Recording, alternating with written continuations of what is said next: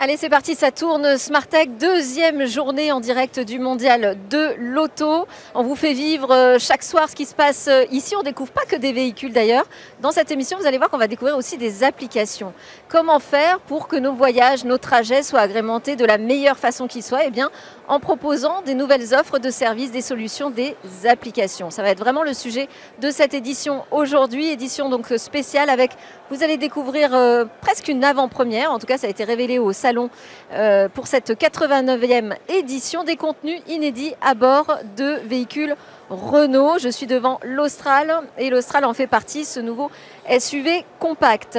Et puis dans une deuxième partie, je vais recevoir des éditeurs de contenu justement pour voir comment désormais ce métier bien spécifique de l'édition de contenu travaille avec un métier très éloigné a priori de ce secteur qui est celui de l'automobile, de l'industrie automobile. Comment euh, ces deux métiers travaillent ensemble aujourd'hui pour nous, offrir de nouvelles expériences à bord? C'est le sujet de Smartech, c'est parti.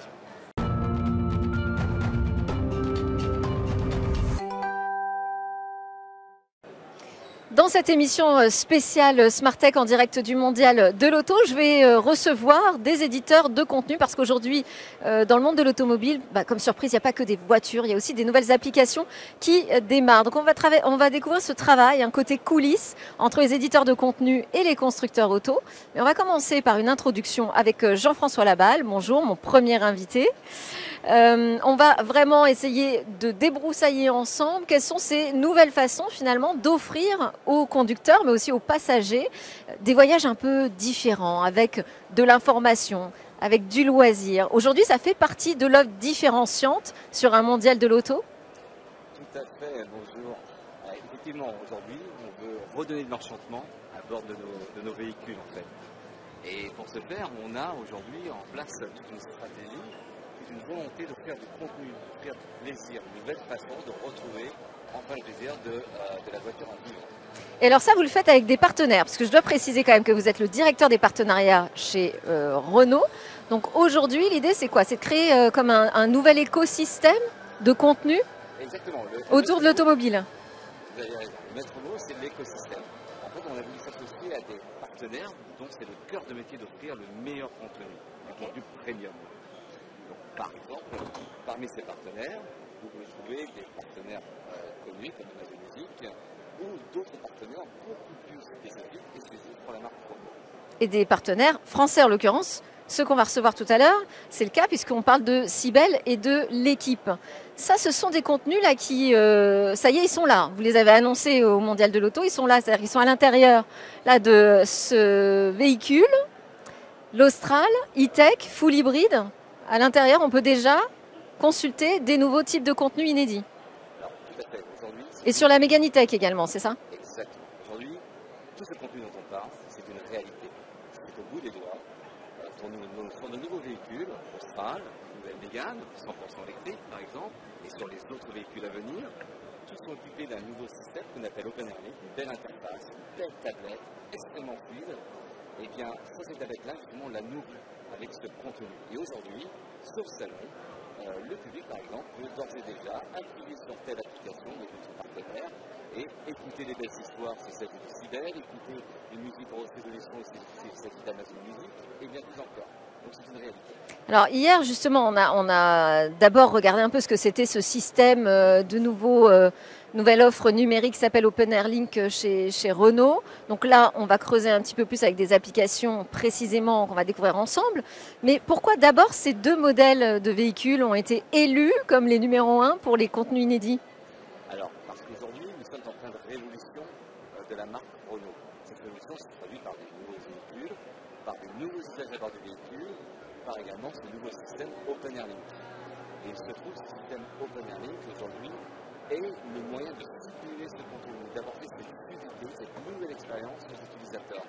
Et c'est pourquoi on a mis aujourd'hui le paquet pour justement nourrir cette belle tablette. Donc là, on sort des nouveaux modèles, on se dit, en plus euh, d'avoir des équipements spécifiques, d'avoir euh, des écrans totalement repensés, en plus on leur offre des, des contenus inédits. Mais la volonté, c'est qu'à terme, ce soit disponible sur tous les véhicules? Tous les véhicules de la marque Renault. D'accord. Et ce nouveau système Open Air Link. Tout à Ok. Euh, on va parler un peu de sous. Il va falloir débourser quelque chose pour l'utilisateur? Alors, aujourd'hui, euh, si on parle de sous, aujourd'hui, de base dans le véhicule, il y a ce système qui est, euh, qui est proposé et le contenu fait partie de cette, de cette offre de base. Et effectivement, l'utilisateur pourra toujours augmenter son contenu en prenant tel ou tel abonnement qui peut, d'ailleurs avoir déjà son mobile. Parce que c'est ce que j'allais dire. Euh, on peut très bien être déjà abonné à l'équipe sur son smartphone. Qu'est-ce qui se passe quand je rentre dans ma voiture? Est-ce que j'ai accès? Est-ce qu'il y a une prolongation finalement de une continuité de service quoi? Par exemple, l'équipe, vous avez déjà cette offre premium qui est incluse de base dans le véhicule. Il n'y a rien à débourser. D'accord. Amazon Music, si l'utilisateur a déjà Amazon Music, c'est très simple. Il réutilisera lors son véhicule. Il y a une continuité totale entre son mobile. Donc ça veut dire sur l'équipe, pour l'instant, c'est Renault qui paye en fait? Aujourd'hui, c'est un partenariat. Enfin, ou le, le, c'est un partenariat. On offre aujourd'hui cette expérience. ou le client qui achète la voiture achète dans le package désormais des applications finalement. Exactement, c'est extrêmement simple. Il n'a pas de démarche à faire. Il n'a pas une option à prendre. C'est au bout de ses doigts dès l'instant qu'il reçoit son véhicule. C'est un peu comme le modèle de- des opérateurs mobiles. On peut faire le parallèle, c'est-à-dire que je choisis mon opérateur mobile, ben là je choisis mon constructeur auto qui m'offre en même temps un paquet de- de- d'applications gratuites. Eh bien, le, le parallèle est ex- excellent. Merci. Merci. Effectivement, euh, aujourd'hui, Renault change de positionnement. Renault est bien plus qu'un constructeur de voitures. Euh, Renault aujourd'hui est un fournisseur de services, un fournisseur d'expérience. En fait. Et, aujourd'hui, on prend exactement euh, ce même positionnement que les opérateurs peuvent prendre par le passé. Alors qu'est-ce qu'on a Parce que j'ai cité deux applications, mais qu'est-ce qu'on a comme nouveau type de format, plus largement, hein, qui arrive? On peut consulter quoi? Des articles, des podcasts? Qu'est-ce qui arrive d'autre Aujourd'hui, les gens sont des, par exemple, des Sibel, ce sont des audiobooks, par exemple, très bien adaptés pour les enfants. Si Ah. voulez, euh, Pour le départ en vacances là, euh, à la Toussaint, par exemple. Exactement. Si vous voulez avoir de belles histoires et faire oublier la route à vos enfants, cette application Sibel regorge de contenu euh, spécialement pour eux. Et pas que. Voilà. D'autres exemples D'autres exemples aujourd'hui, vous avez par exemple Radio Player. Radio Player for Renault, c'est quoi? Cette application qui vous permet d'accéder à toute la musique, à remplacer votre radio traditionnelle. D'accord Et ça vous apporte quoi? Ça vous apporte l'accès à toutes les radios de l'Europe, voire du monde entier. Et ça vous apporte également du podcast supplémentaire. Donc aujourd'hui, sur telle ou telle euh, thématique, etc. Vous réfléchissez à du streaming vidéo? J'imagine que le conducteur n'y aura pas accès tout de suite, Alors. mais c'est quand même une offre euh, qui est très recherchée par les passagers. Alors nous, on ne réfléchit pas, on l'a fait. Ouais. C'est-à-dire que et déjà aujourd'hui, vous avez une application qui s'appelle Vivaldi, qui vous permet, lorsque vous êtes à l'arrêt, vous êtes un pique-nique, vous vous reposez ou vous rechargez votre véhicule sans électrique, de visualiser par exemple euh, des vidéos sur YouTube. Alors ça, oui, ça j'ai vu, j'ai vu ça. Mais moi, je vous disais justement l'étape d'après, de pouvoir offrir, je sais pas, un abonnement Netflix ou autre, hein, d'ailleurs. Euh, ça peut être un média audiovisuel français, d'offrir un accès euh, streaming aussi dans la voiture. On peut envisager ça demain? Bien naturellement, on a plein de choses dans les cartons. Ok. Tout le contenu dont on parle aujourd'hui, c'est juste, on va dire, un premier exemple de contenu qui va être enrichi dans les mois à venir. Donc oui, il y aura plein de belles et de très bonnes surprises. Bon, eh ben, on va suivre ça. Euh, alors, euh, vous, vous êtes d'abord un ingénieur. Vous avez euh, travaillé pendant 20 ans dans la tech, notamment chez Alcatel, je ne me trompe pas? Donc vous avez participé là, à toute cette euh, transformation, euh, justement on parlait des smartphones, hein, depuis l'arrivée de- de- des téléphones mobiles qui sont devenus des, smartphones jusqu'à l'Internet euh, des, objets. Comment est-ce que, parce que vous avez rejoint Renault en 2017, comment est-ce qu'on transforme un constructeur automobile et donc toute cette industrie en boîte technologique? Aujourd'hui, c'est le marché qui nous transforme en fait. Et aujourd'hui, beaucoup de personnes viennent de tout horizon euh, pour on va dire, le corps de métier de Renault. Euh, des gens viennent du secteur de télécom, viennent du secteur euh, du cinéma, etc. Et aujourd'hui, c'est toute cette pluralité de métiers qui participe à cette transformation du groupe. Donc je suis l'un des éléments, mais pas que. D'accord. Donc on revient à cette idée que c'est par l'écosystème finalement qu'on peut véritablement transformer une industrie. Très bien, merci beaucoup Jean-François Laballe, donc responsable partenariat de Renault. On a commencé à découvrir ensemble donc euh, ce nouvel écosystème. On va aller un petit peu plus loin avec euh, ceux qui développent euh, en ce moment même ces nouvelles applications qui apportent des nouvelles expériences à bord. On va être en compagnie de Cybelle et de l'équipe. À tout de suite.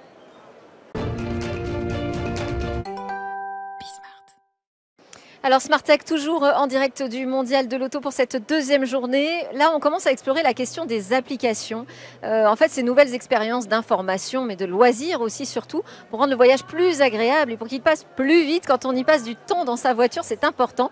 Et pour en parler, je suis en compagnie de Virginie Maire, cofondatrice, euh, présidente de Cybelle, la plateforme, euh, célèbre plateforme de séries, de podcasts, séries audio, qui vient de franchir la barre des 55 000 abonnés. Vous êtes euh, lancé en langue hispanophone et bientôt anglophone, autant dire euh, à l'international. Et à vos côtés, Emmanuel Alix, qui est le directeur général de l'équipe. bon, bah, l'équipe, c'est les contenus sport. je rappelle quand même 1,5 milliard de pages vues par mois aujourd'hui pour l'équipe, en tête des classements donc des médias en ligne. Merci beaucoup d'être avec nous aujourd'hui.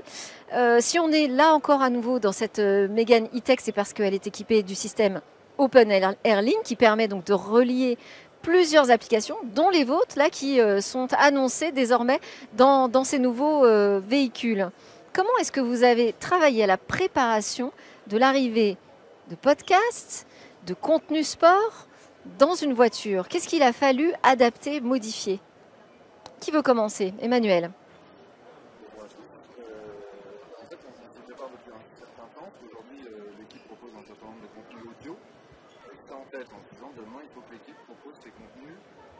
partout il y a des usages. Donc, euh, la voiture simplement sera connectée. Euh, les contenus au sein de la voiture sont un atout pour les constructeurs pour, pour proposer une expérience à bord euh, enrichie. Donc voilà, on a développé des podcasts sur le site depuis 2-3 ans. Puis après, on s'est dit, bah, ok, fait ces contenus-là, demain on va les consommer ailleurs. Et donc voilà, dans la continuité.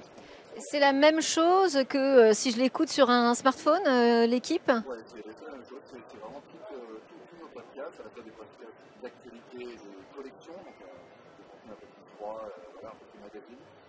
Euh, D'accord, donc il y a une ligne éditoriale, on va dire, qui, qui, s'adapte à la manière dont on va consommer le contenu. Donc même question pour vous, Virginie, comment euh, Sibelle s'est préparée, comment vous vous adaptez à ce monde un peu particulier finalement de la consommation en voiture?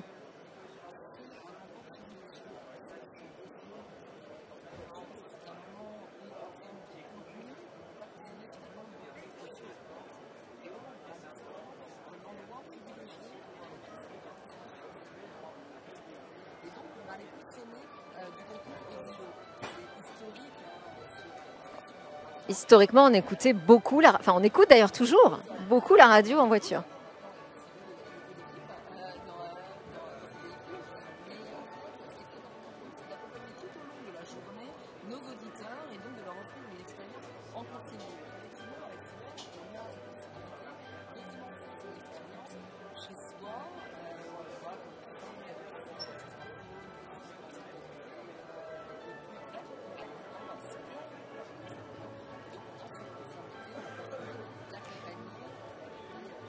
Alors, en ça, d'ailleurs, vous rejoignez la, politique des constructeurs automobiles hein, qui travaillent maintenant sur la mobilité au sens large, hein, qui prennent euh, des trajets. Euh, enfin, le, conducteur ne conduit plus qu'une voiture hein, quand il se rend euh, quelque part, donc il y a une continuité. Est-ce que c'est un dialogue pour autant qui est facile entre des éditeurs de contenu et des constructeurs auto?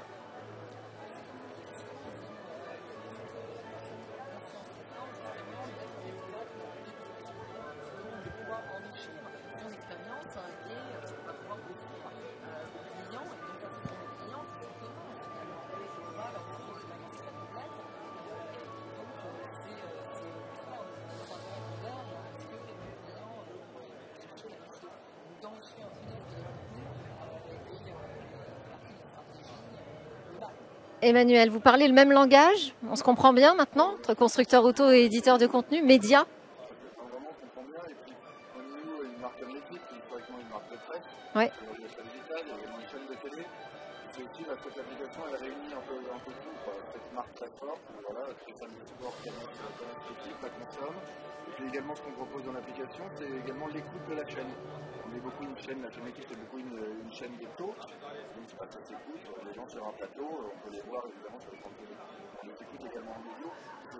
Alors là, vous vous disruptez euh, la, la, radio finalement euh, Oui, ou plutôt on s'adapte au mode de consommation des gens et qu'on dit qu'un bon débat euh, qu'on fait sur notre plateau télé, il marche aussi bien en audio, peut-être un tout petit peu moins bien puis voilà, il y a quelques images qui passent à l'écran, mais globalement l'information est la même et c'est ça qui est intéressant. Est-ce que ça veut dire qu'on change aussi de business model quand on fait une offre? Parce que là, je posais la question tout à l'heure au directeur des partenariats, il me disait, bon, en gros, c'est Renault qui met euh, dans un package euh, euh, ses applications. Je ne sais pas si ce sera comme ça tout le temps. mais pour vous, est-ce que vous avez dû repenser aussi le business model de vos applications, puisque maintenant c'est fourni avec une voiture? Nous, on, s'est posé la question, évidemment, c'est ce partenariat qu'on fait avec Renault, mais même au-delà, c'est comment demain on va proposer ces contenus. Aujourd'hui, on a une stratégie à la fois gratuite. Tous nos contenus sont, une grande partie de nos contenus sont accessibles gratuitement, mais également des contenus réservés à des abonnés. Oui. Aujourd'hui, dans l'application Renault, l'ensemble des contenus audio, même ceux réservés aux abonnés, sont disponibles. C'est-à-dire qu'il y a des gens qui vont rester dans leur voiture, en fait, pour continuer à accéder à certains contenus qu'ils ne pourront pas continuer à avoir chez eux. C'est beaucoup plus riche que, ça et ça leur suffira pas. si ça leur suffit, à la rigueur, je serais ravi euh, pour eux donc il y a cette question-là demain du modèle gratuit payant qui se posera aussi également euh, au sein des, véhicules. Vraiment, ce n'est pas encore posé, mais je pense que cette question-là se posera Même question pour euh, du côté de Cybelle, Virginie. Est-ce que ça vous oblige à repenser votre modèle économique?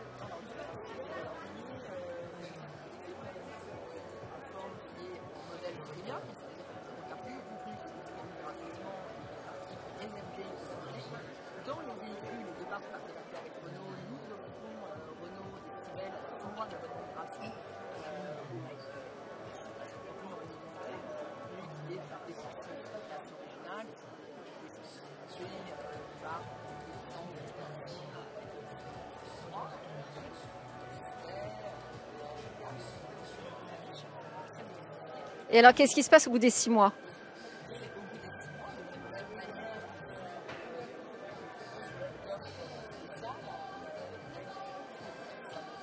D'accord.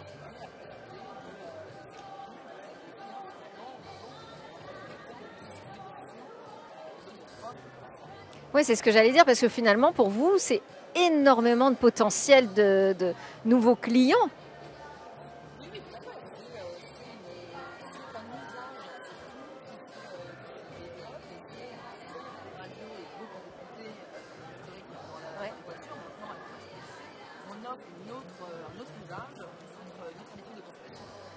Alors là, vous, avez une exclusivité avec, euh, avec euh, Renault dans ce partenariat, j'imagine, puisqu'il faut que ce soit une offre différenciante hein, pour, euh, pour, le constructeur.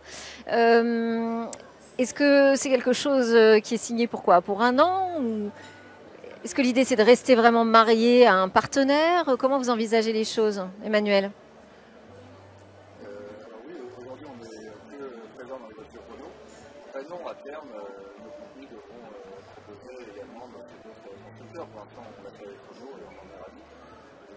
Vocation c'est de ne pas réserver nos contenus à certaines plateformes. Nos contenus doivent se retrouver partout. Euh, pour revenir sur votre question précédente, c'est nous, en plus, marque de presse, c'est vraiment important d'être dans cet usage-là qui est pas habituel. Les gens ne connaissent pas leur audio, pas bien encore leur audio de l'équipe. C'est aussi un vecteur très important d'arriver, les gens dans leur voiture, ils, ils arrivent rapidement dans l'équipe de proposer on pense que pour la marque et l'extension de, son domaine euh, très écrit je ne vous pose pas la question à vous, Emmanuel, parce que je connais la réponse, mais je la pose euh, à Virginie pour euh, Est-ce que dès le départ, au lancement de Cybelle, vous avez pensé à ce, nouveau euh, marché qui est celui de l'automobile?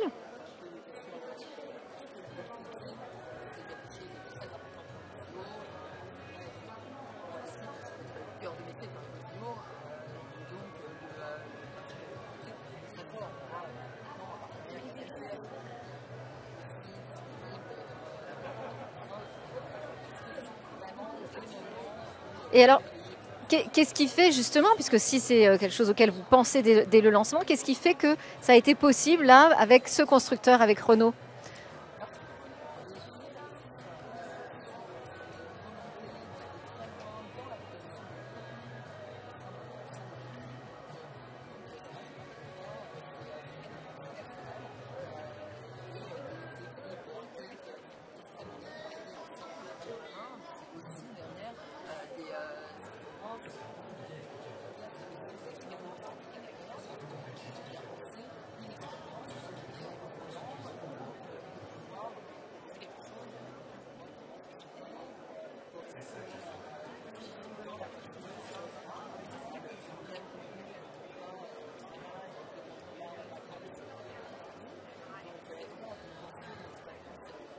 Ouais.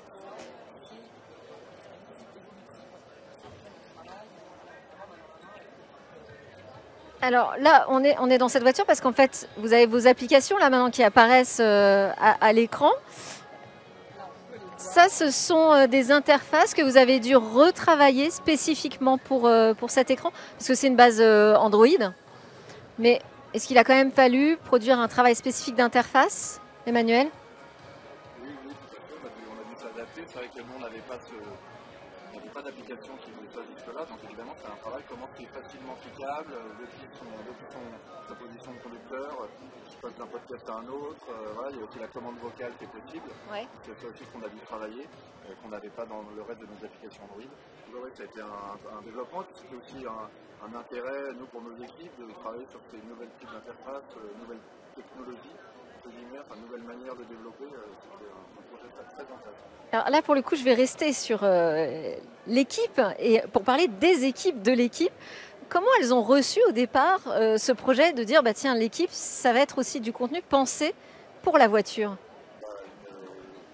Une, une collaborateurs, ce qu'ils veulent, c'est que le contenu qu'on raconte, l'information qu'on sort, elle soit diffusée euh, de manière la plus large. Par exemple, les équipes qui gèrent les podcasts et l'audio chez nous, évidemment ravis de savoir que leur contenu peut être accessible, comme je vous ai présenté tout à l'heure, dans un environnement euh, agréable, euh, sur un trajet, écouter un podcast d'une heure. Voilà, euh, Ça demande quand même une organisation euh, spécifique, j'imagine, en interne. On a dû mettre des développeurs, des chefs de Ouais. projet, euh, du design spécifiquement sur ce projet-là pendant, pendant, pendant une semaine. Donc voilà, mais il y a ce côté nouveau, on teste quelque chose de nouveau et ça, ça, ça excite toutes les équipes de, de travailler. Et euh, cette question de l'organisation et puis des moyens qu'il a fallu déployer, mettre en place pour que ce partenariat fonctionne, là, pour qu'on trouve vos applications dans les voitures. Ça fait combien de temps que vous travaillez dessus? On a travaillé, euh, alors le lancement, ça a été Oui. Oui. Ouais.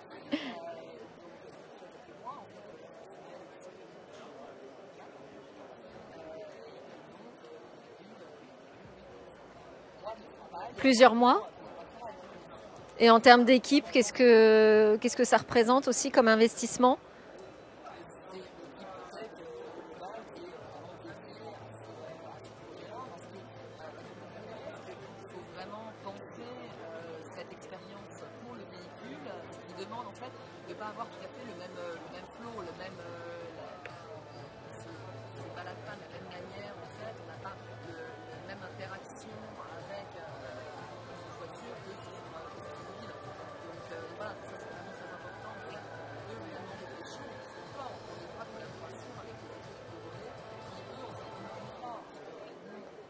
Donc il y a vraiment eu un travail avec, entre les équipes tech euh, de Renault et euh, Cybelle et, et l'équipe. travaille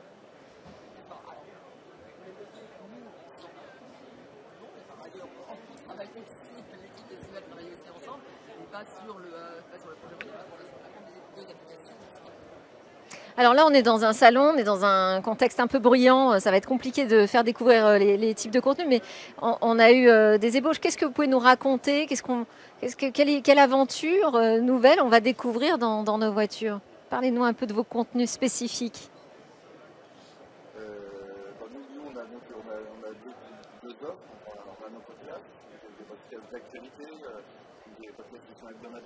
D'accord Euh, voilà, sur le foot, le rugby, le basket.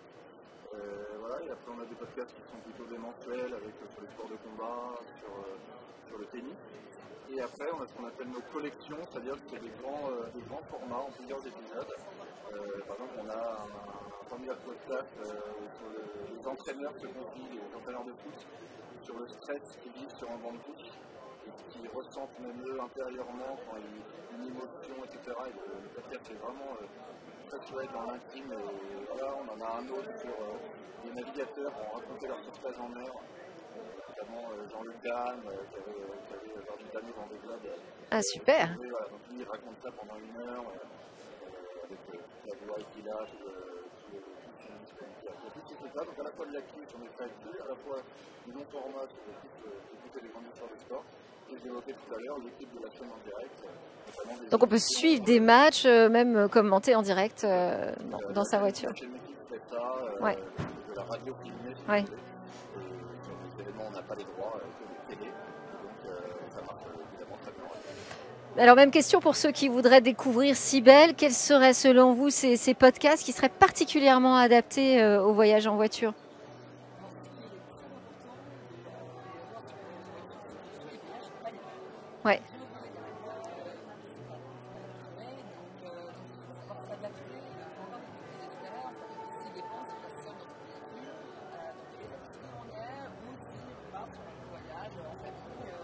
Et alors vous faites des recommandations?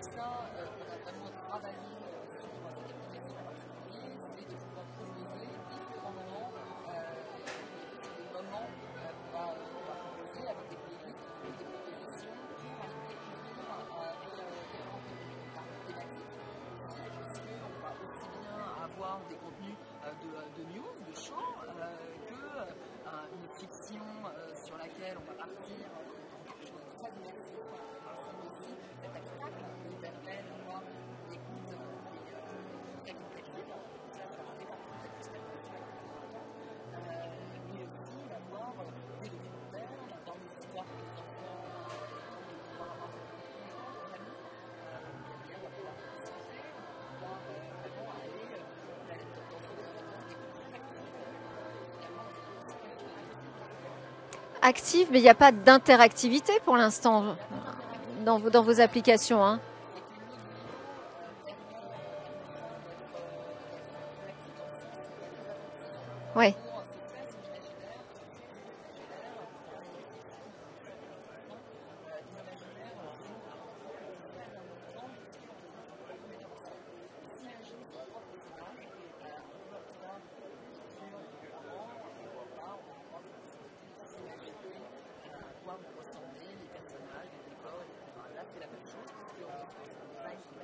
Euh.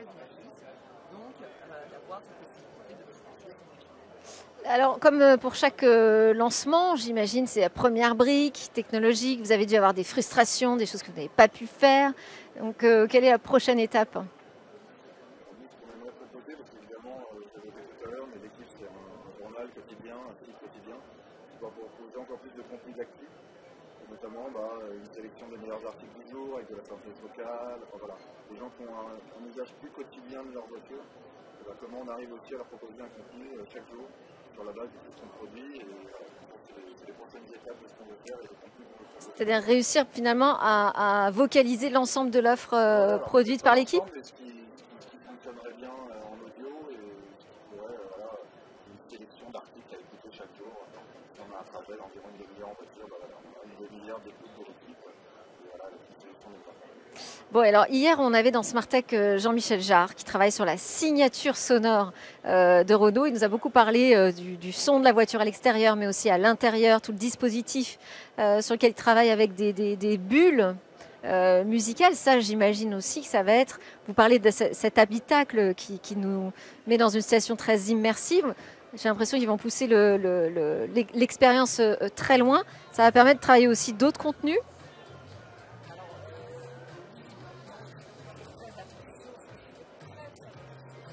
C'est vrai. Il faut après passer à la voiture autonome, en fait.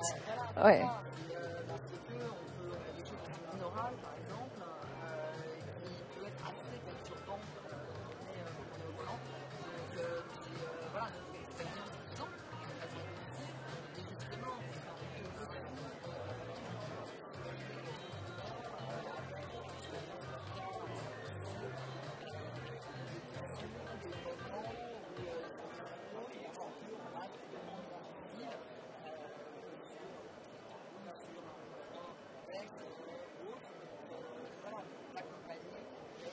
D'où d'où- l'intérêt vraiment de travailler sur une personnalisation en fait hein, de, tous ces contenus demain. Merci beaucoup à tous les deux. Virginie Mer, cofondatrice, présidente de Cybelle, Emmanuel Alix, le directeur digital de l'équipe. C'était Smartech. On était au Mondial de l'Auto et on y retourne demain.